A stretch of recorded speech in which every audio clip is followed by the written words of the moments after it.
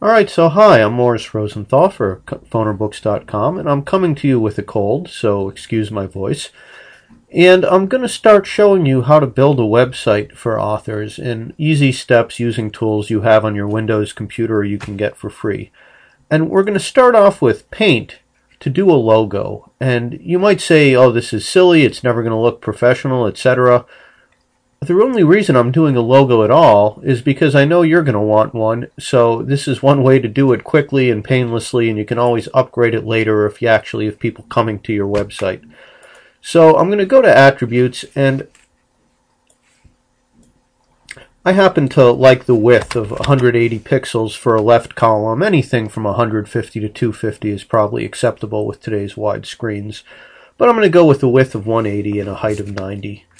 So that'll be the size in pixels of our icon, and there we go, or of our logo. And now I'm just going to get a little bit of drawing in and a little bit of text in, because that's what most logos have, a little drawing and text. So I'm going to select the ellipse tool here, come down off screen and select yellow for the color. This might be the solid fill if I recall. And uh, draw an ellipse. There we go. Now, does that look familiar to you? I think I'm going to come out a little further.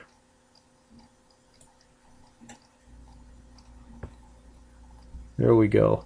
That's the sun shining. I think that's a nice positive image for our for our new author's website. Nice shining sun. Um, now we're going to change over to text, and I'm going to come up with a sort of a logo for this site, and we're going to say. Uh,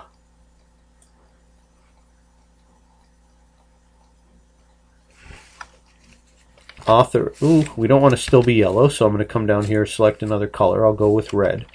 Authors.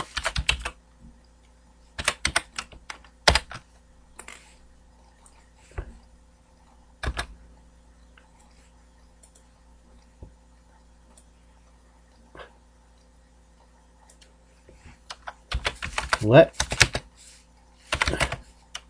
I can't seem to type today. Let your We'll go with capitals.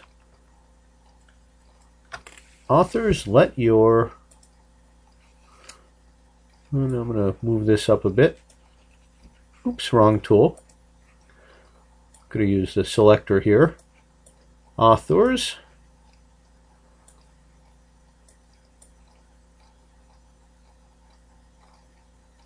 Let your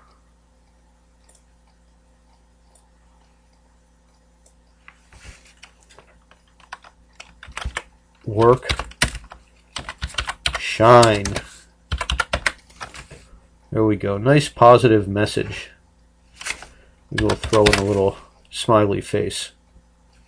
Uh, maybe the smiley face is over the top. Okay. Um, we're going to take that and line it up somewhere we think looks good.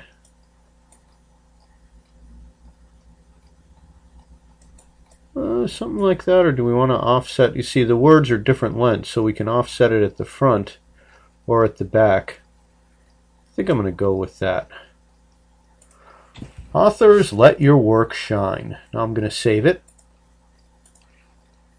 And I'm going to save it in my existing fonerbooks.com image directory. Do do do do images and I'm going to call it logo dot gif. Let's find out if we have an existing logo dot gif. Logo dot gif. Save. Fine. Alright, so I'm Morris Rosenthal for Foner Books. That'll be the logo for our website, and we're going to move on to the next step now.